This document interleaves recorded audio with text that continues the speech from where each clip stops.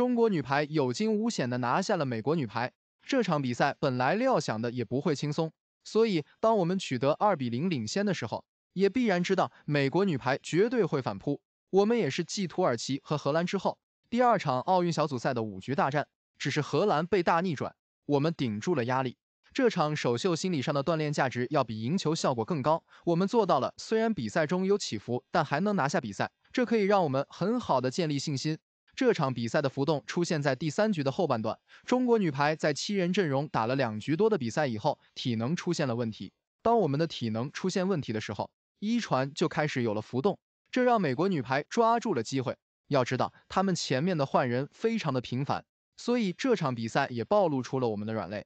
尤其是朱婷在被追发以及分担防守和进攻的情况下，体能下降的比较厉害。所以在第二场对阵法国女排的时候。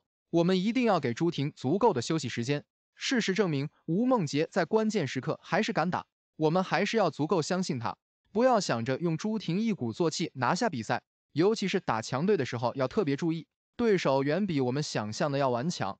这场比赛我们也进行了车轮战，参赛的十二名球员有十一人都得到了上场机会，只有张常宁一个人没有登场。希望后面能够给他机会，他的替补发球和一传还是值得信任的，毕竟大赛的底蕴在那里。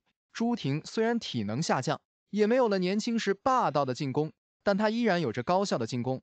三十六扣十七中，只有三个失误和被拦，就说明了问题。朱婷对于球队的保障太重要，所以在她体能下降的时候，我们的一传才会不稳。好在我们赢球了，结果完美就是好的。王梦洁应该是中国女排最稳定的点。多次精彩的防守让我们稳住了阵脚。上届奥运会以后，王梦洁被骂出了国家队。如今，她的确是世界上最优秀的自由人之一。由于中国女排赢球，所以我们的八强已经很稳。下一场打法国，拿下三分问题不大。在只打三场比赛的情况下，拿下两场胜利，足以让我们打进八强。